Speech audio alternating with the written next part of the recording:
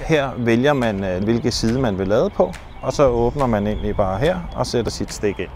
E-Link-systemet kan være med til at nedbringe dine økonomiske øh, omkostninger, men også samtidig nedbringe øh, CO2-udledningen. Hvis man ikke gør brug af et styringssystem til sin ladestander, så kan man løbe i kapacitetsudfordringer, som kan medføre, at man skal ud og investere, lave nogle store anlægsinvesteringer, men, men det kan også medføre, at du får et strømsvigt i din bygning. Med EV-Link-systemet har vi mulighed for at lave en prioriteret opladning, en VIP-opladning, som gør, at